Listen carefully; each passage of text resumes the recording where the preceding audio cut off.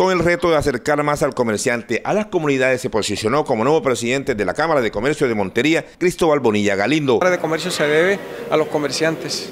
La Cámara de Comercio es, una de las razones de ser para potenciar el desarrollo regional a través de bueno, muchas cosas, eh, rutas de desarrollo eh, empresarial, eh, establecer e identificar necesidades regionales en función de buenos planes de negocios. Se trata de un ingeniero industrial egresado de la Universidad Inca de Colombia con experiencia en el sector público y privado. Fue docente de las universidades de Córdoba y el Chinú. Laboró en el SENA y el Departamento Nacional de Planeación, entre otras entidades. Que hemos desarrollado competencias eh, fuertes para poder dirigir con mucha responsabilidad y compromiso la Cámara de Comercio.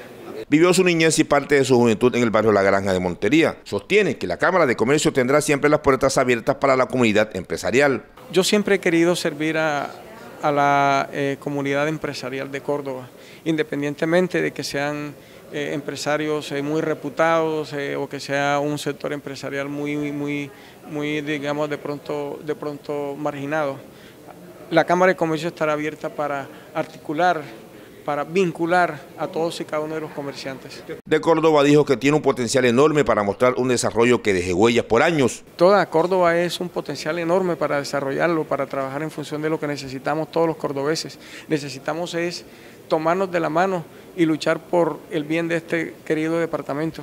Desde hace casi un año la Cámara de Comercio de Montería venía escogiendo a su presidente. Incluso en dos ocasiones hubo elecciones fallidas.